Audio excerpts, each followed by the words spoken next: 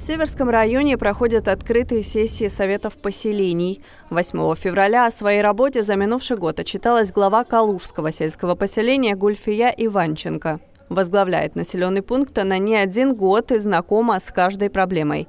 Бюджет здесь небольшой, но на 15 миллионов рублей, именно таким он был в 2023 году, удалось решить множество вопросов, в том числе в сфере ЖКХ и благоустройства поселении делают упор на участие во всевозможных госпрограммах и организацию инициативных проектов граждан. Это позволяет привлекать дополнительные средства в бюджет. Работу главы и администрации депутаты Совета признали удовлетворительной.